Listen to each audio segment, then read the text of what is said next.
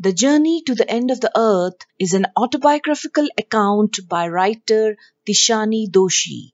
This travelogue is about the author's experience when she goes on a journey to Antarctica, the coldest, driest, and windiest continent in the world.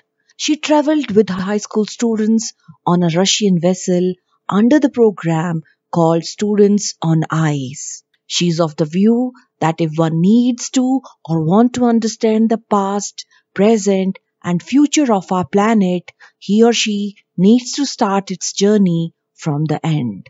For detailed description, watch it on my channel English Tutorials by Poonam Thakur.